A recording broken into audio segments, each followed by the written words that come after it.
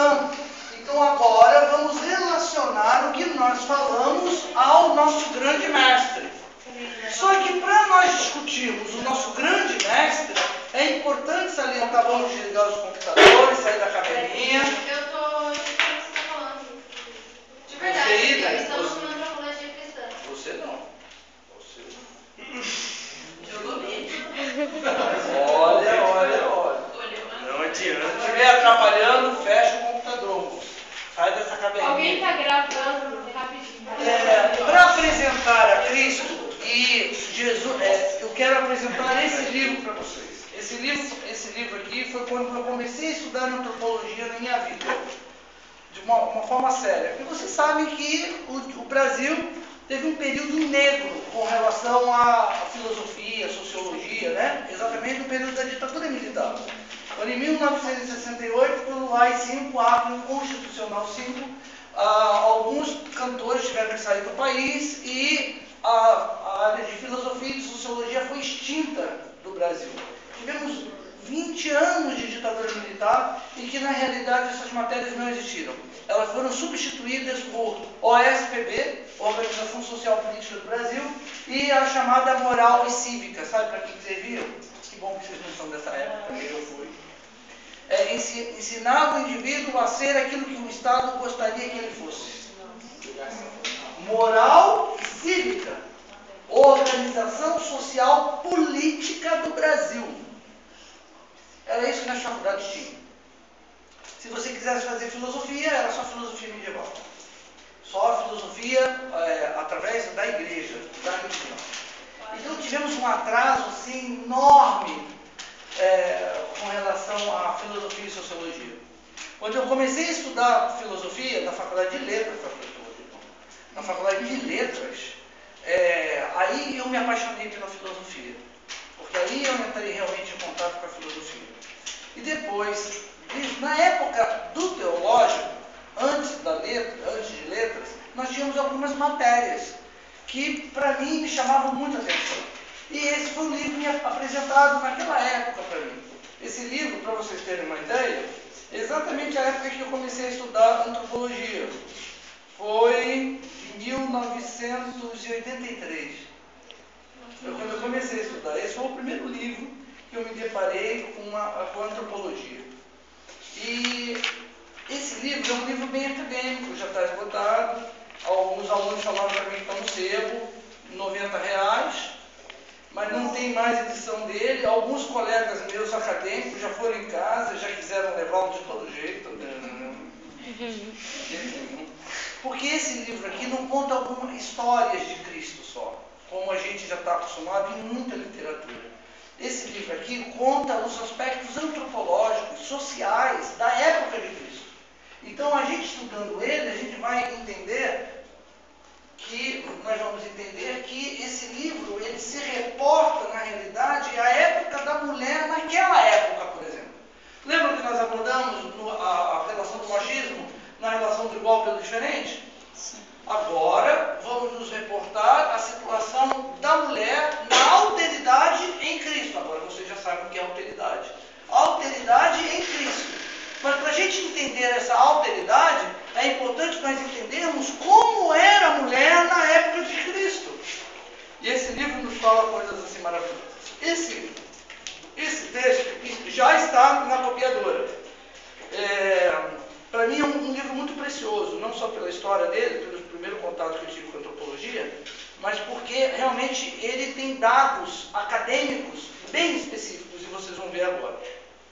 Então, senhores, vocês vão na copiadora depois, copiem as páginas, é, da página 473 até a página 494. 494. 473 a 494. Tá bom? Para facilitar. É, Jerusalém no Templo de Jesus. Joaquim Jeremias. Joaquim Jeremias. É, já está na copiadora. Para facilitar para vocês, eu já grifei todo o livro. eu tinha sublinhado a lápis, mas não saiu nada no. Eu que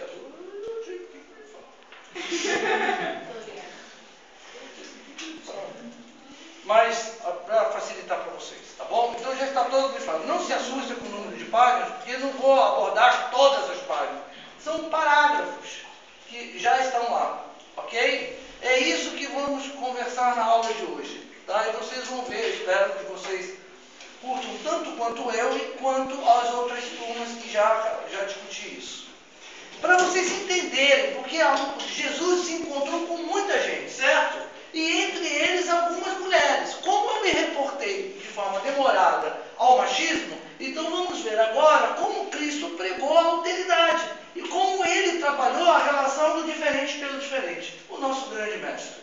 Para nós entendermos isso, vamos à história, vamos ao aspecto jornalístico para ver realmente como Cristo trabalhou esses encontros, o que para a gente é muito especial. Vocês vão perceber, assim como eu espero, assim como eu percebi em contato a primeira vez com esse livro, que a história de Cristo tomou uma proporção muito diferente depois que eu li. A história de Cristo tomou uma proporção muito maior. Se antes eu admirava Cristo, agora isso se tornou ao cubo. Porque na realidade, quando a gente lê a passagem bíblica, ela não está é, especificada. Quando a gente lê, muitas vezes, a gente tem um enfoque teológico e não um enfoque antropológico. Então, esse enfoque antropológico, vocês vão ver que faz uma diferença extraordinária, porque aquilo que a gente pensa que era corriqueiro, não é. Aquilo que a gente pensa que era um, um encontro, que era difícil na época, a gente vai perceber que não era assim. Que é muito mais complicado, muito mais complexo.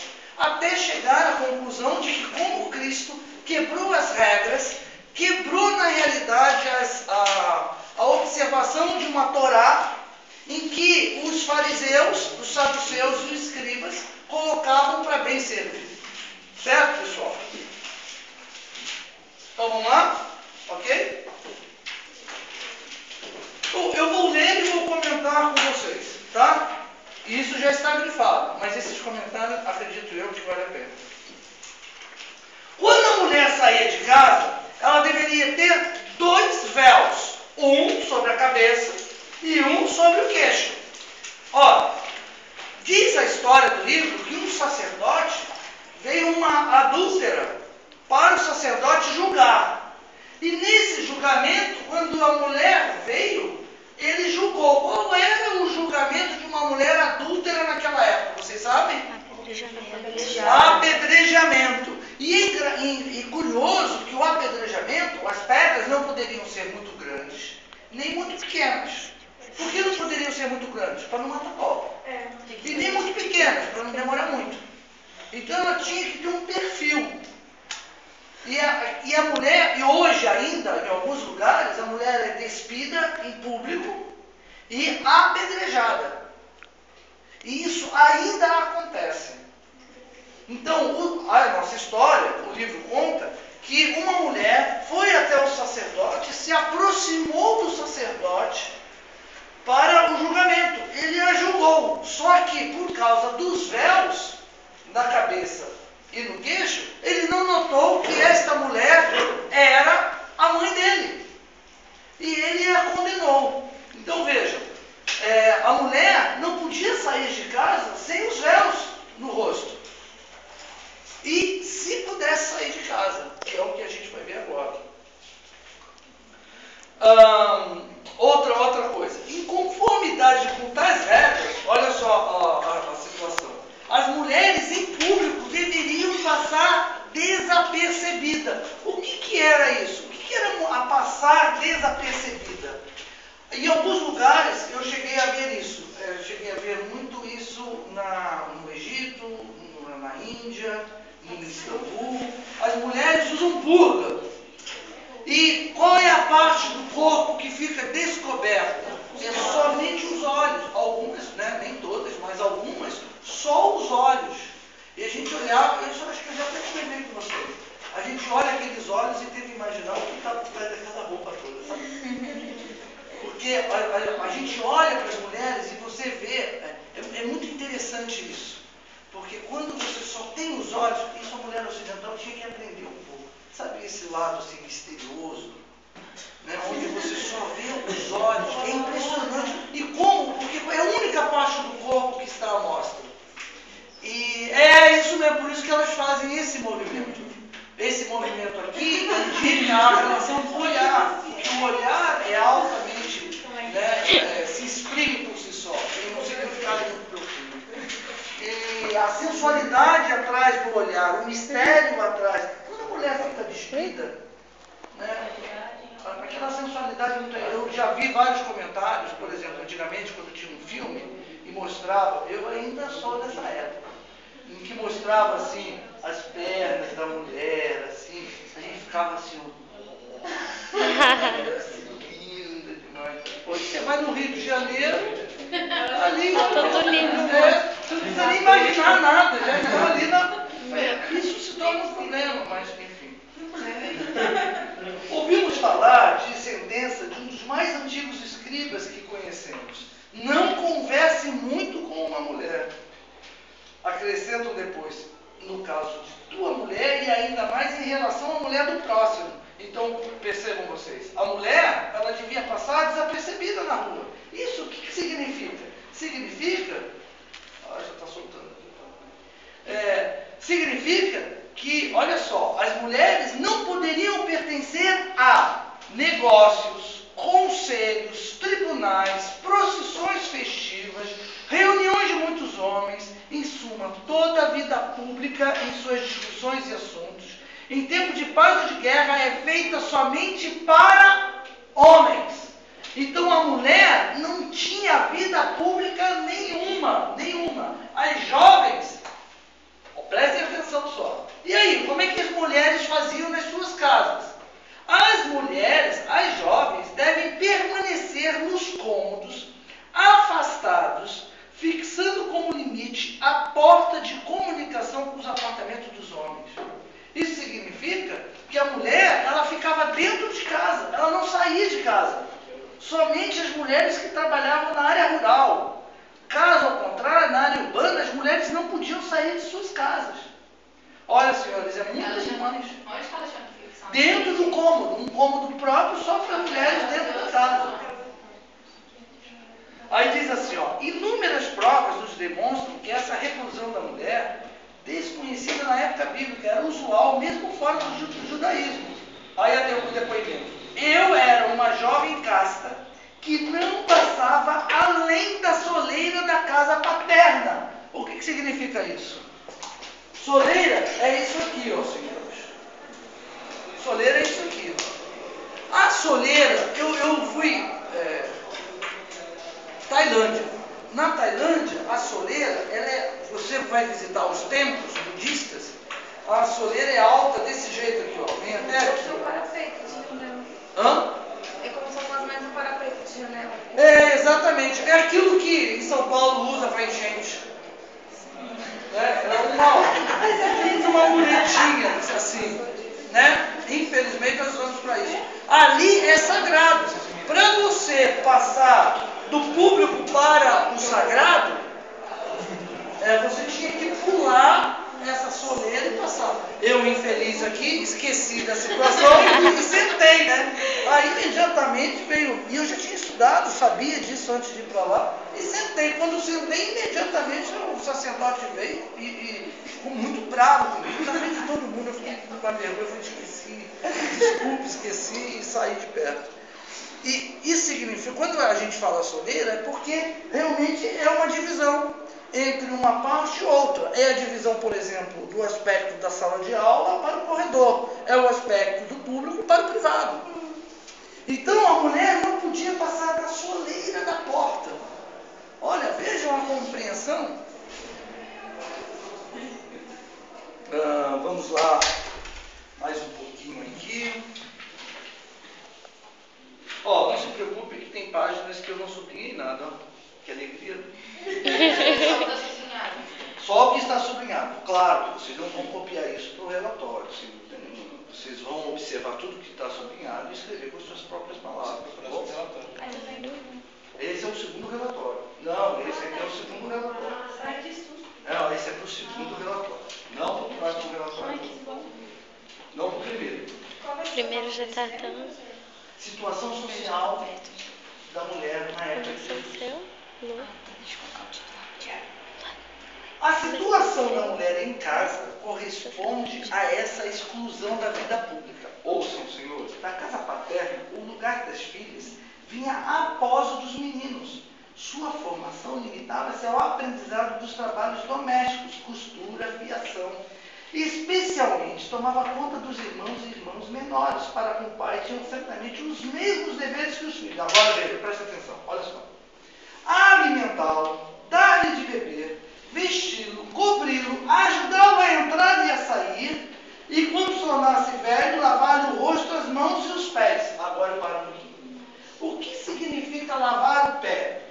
Imaginem, senhores, a Palestina é algo assim, é um deserto, é um deserto é, cheio de pedregulhos. Não é areia fofa igual o Saara, por exemplo, igual o deserto da Califórnia.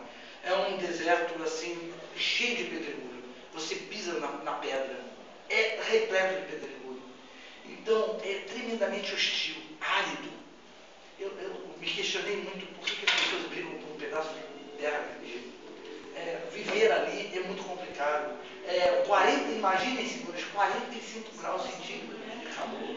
É muito quente. É uma coisa assim, sem água. É uma coisa assim. Você não imagina como é que as pessoas conseguem viver, os nômades ali conseguem viver naquela situação. Então, imagine, voltando ao que a gente estava falando, imagine que os homens naquela época, ou as pessoas naquela época, não tinham sapatos. Nosso o sapato é fechadinho, né? Vocês imaginem, naquela época, eram sandálias abertas. Então, imagine o pé. Ficava craquento mesmo né? Ficava uma coisa assim horrorosa. Então, quando você chegava na casa de alguém, o que, que- o que, que tinha?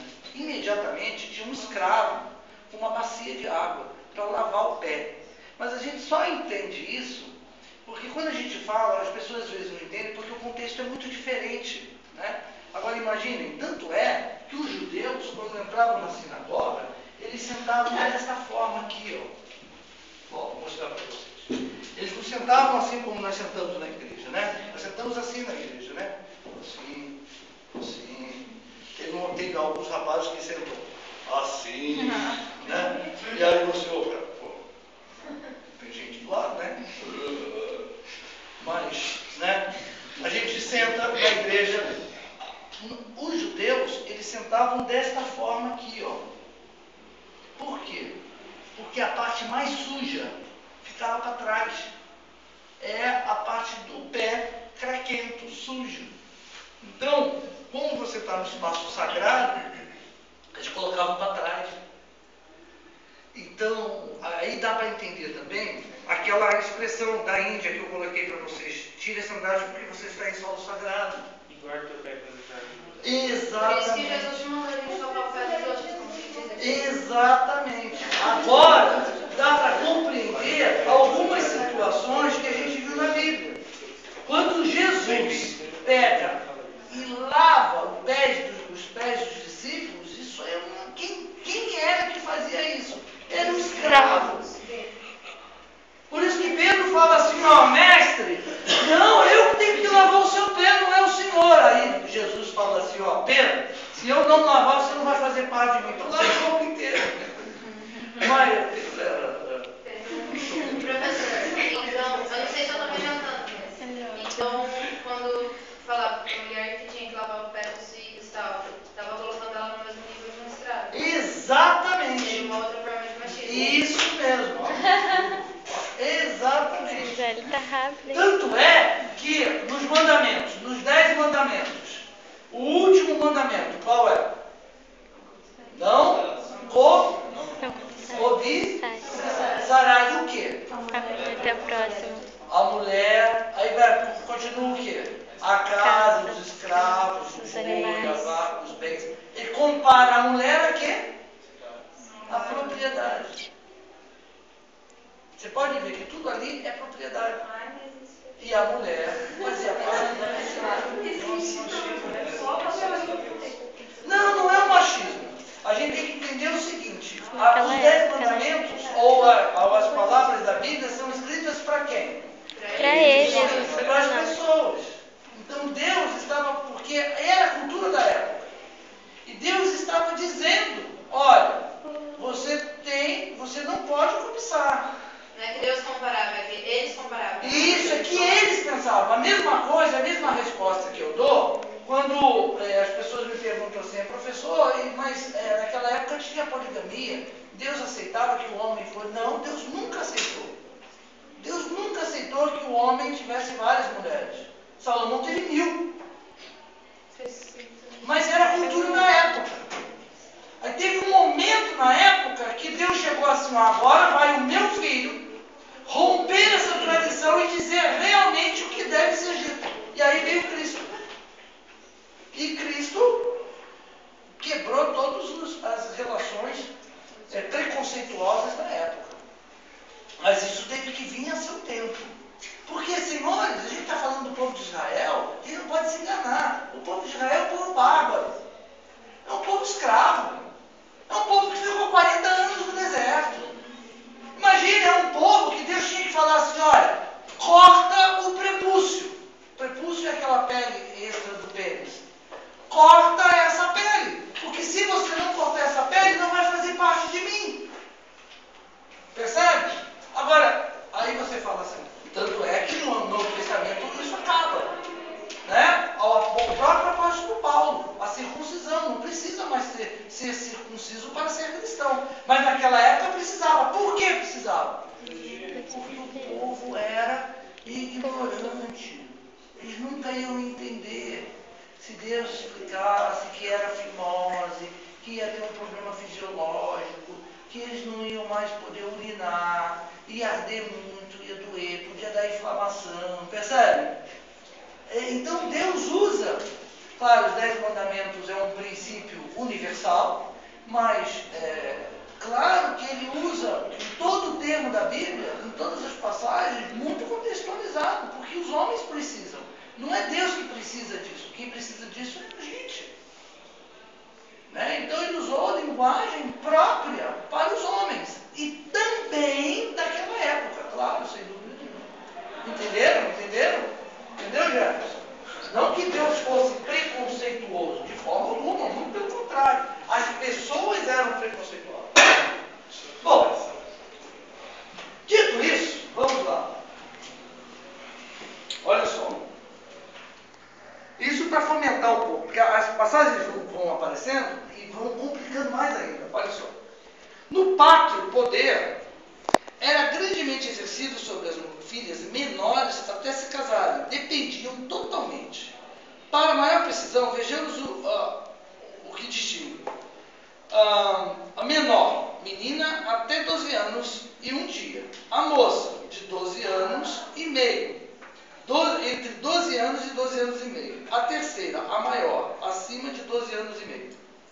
Então, quando uma mulher se tornava independente, mais independente, vamos lá? Vamos ver o que que eu quero dizer com isso.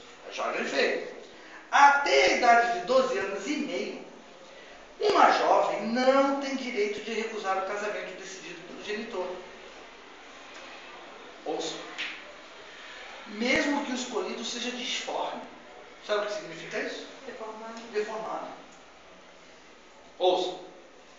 Mais ainda, o pai tinha o direito de vender sua filha como escrava, conforme vimos, mas somente até os 12 anos.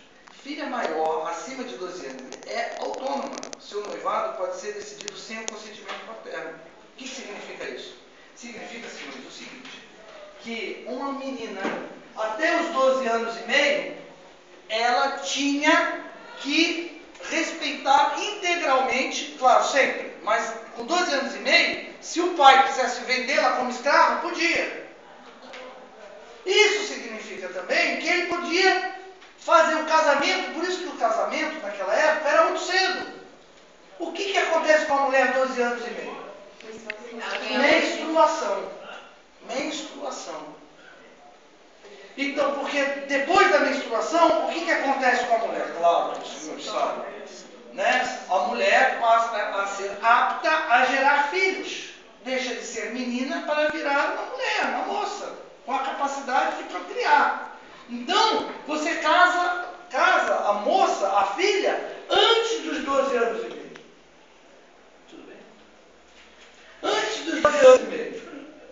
Imaginem, senhores. E isso era comum. Uma dívida, dou a minha filha para pagar a dívida. Isso era comum na época. Então eu faço esforço logo para casar logo minha filha. E aí eu recebo a relação do dote. Porque se eu caso depois de 12 anos e meio, eu posso não receber isso. Ela se torna uma percebe a situação? Então eles fazem tudo para casar a menina até os 12 anos e meio. Olha que loucura era isso. Então é muito pior do que o que a gente imagina. Vamos lá, vamos continuar um pouco. Qual que era a vantagem, no caso, para o esposo, temos uma filha, uma, ter uma, uma mulher antes de menstruar? Ter uma mulher. Então, alguns sacerdotes, a oração de alguns sacerdotes, é, alguns rabinos, era assim, ó, maldita a mulher que gera mulher. Bendito é a mulher que tem filhos homens. É, é época. Se, eu vou ler já, está aqui já também.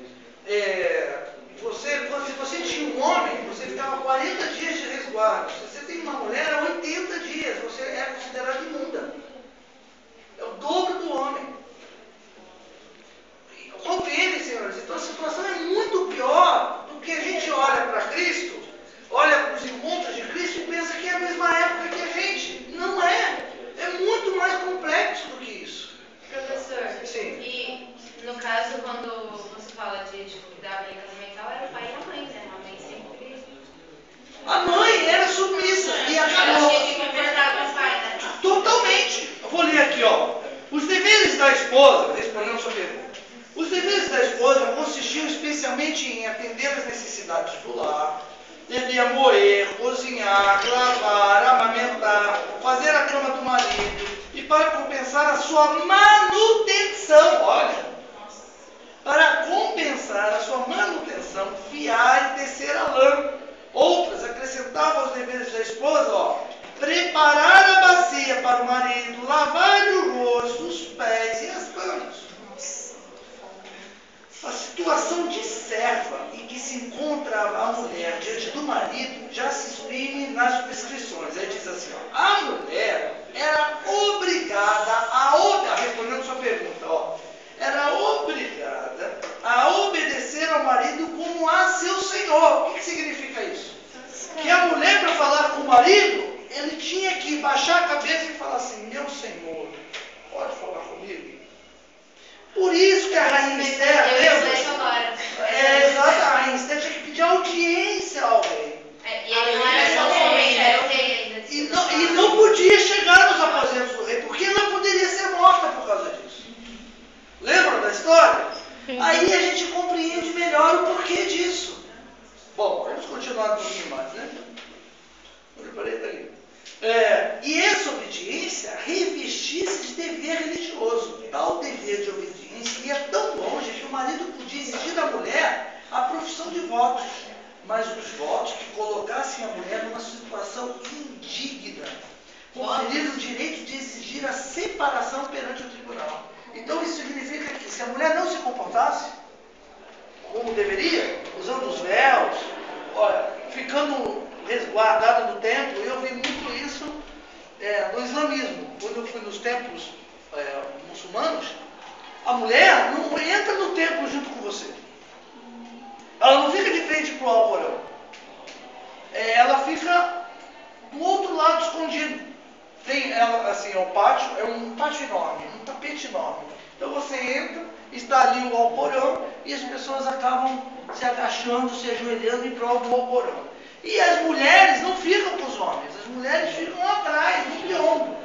Eu sei que as minhas meninas, que vocês já conheceram aqui, tiveram que, não ficaram comigo. Falei, Não deixaram? Não, não deixaram, não deixaram, gente. Ela teve que colocar os tecidos para cobrir o corpo e ir atrás, atrás do templo. Eu olhava a minha esposa e a minha filha com um buraquinho do biombo. Eu olhava assim, elas estavam assim, sentadinhas, sentadinhas, né? Sentadinhas assim. Assim, uma roupinha assim. Aí eu olhava pelo buraquinho do biombo. Eu falei, cara, que loucura isso, né? Que loucura. Ainda hoje, isso hoje. Onde, é, onde, onde é, é, em Alexandria, no Egito.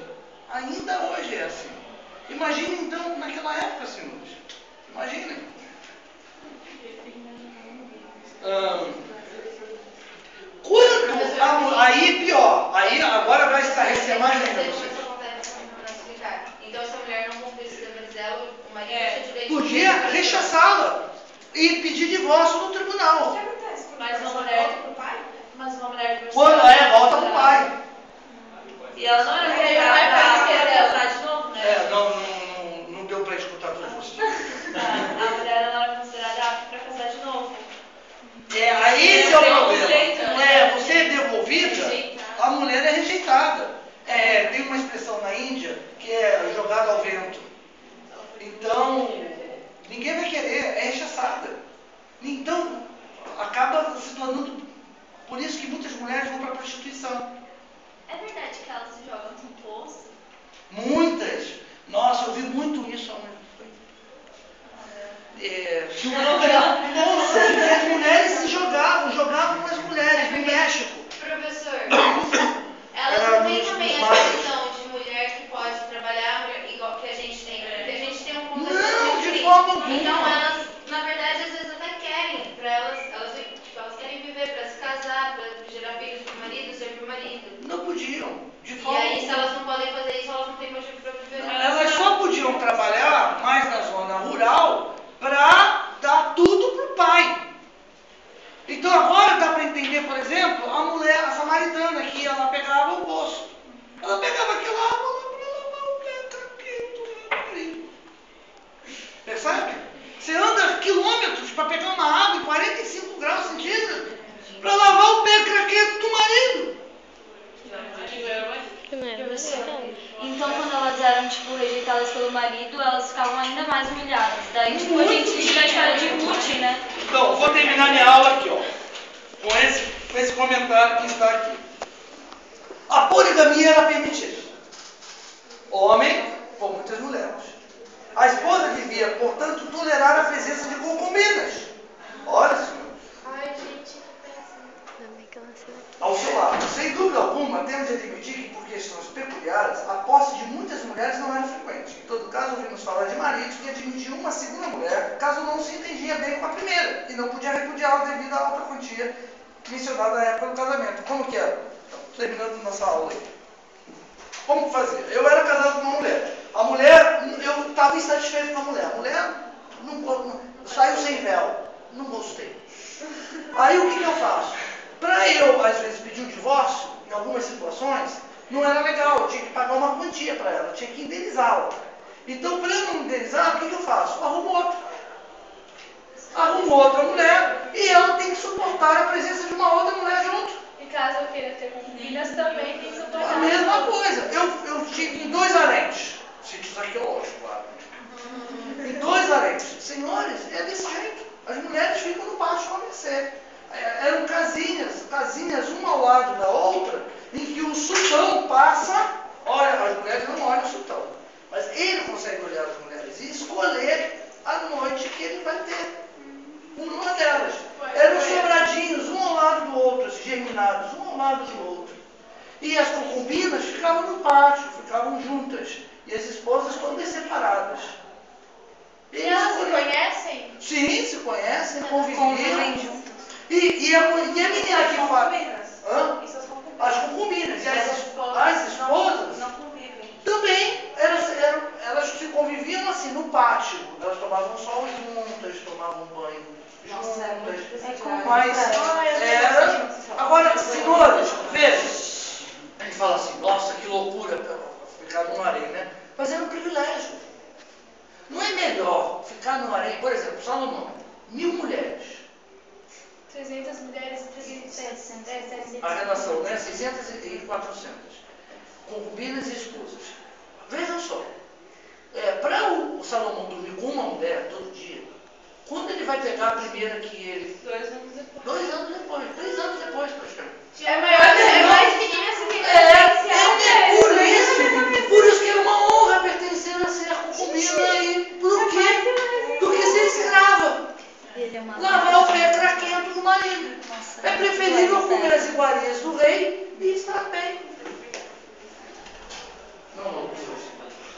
Agora algumas coisas dá para entender um pouco era um privilégio uma mulher ser chamada? Aí, aí, antes disso, a gente, eu pensava assim, pô, mas por que, que as mulheres gostavam de ser procuradores? Isso é uma loucura. Agora deu para entender? Então ela tinha de tudo do bom e do melhor. E era do rei. E os homens que estavam ali, os músicos, eram eunucos e cegos. Eram, alguns cegavam. Porque você, você pode tocar, né? Você pode ser capado, mas você pode tocar a mulher. Então você cega. Aí o camarada nem vê nada. Então alguns eram cegos e eunucos. Que loucura, né? Então a mulher estava muito bem resguardada. E olha, pessoal, palácios. Palácios. Bom, senhores, na próxima aula.